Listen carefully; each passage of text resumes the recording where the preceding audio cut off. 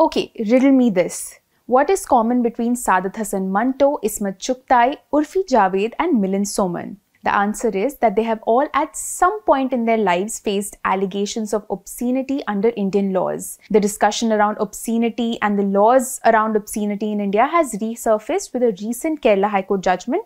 The court has discharged a women's rights activist who was slammed for being obscene and vulgar after she posted videos on social media showing her two minor children, one 14 year old boy and an 8 year old girl, painting on her semi nude torso.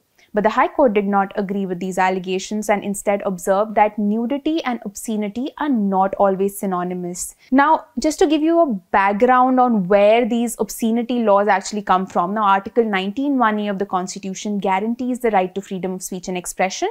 However, Article 19.2 lists down eight reasonable restrictions on this right.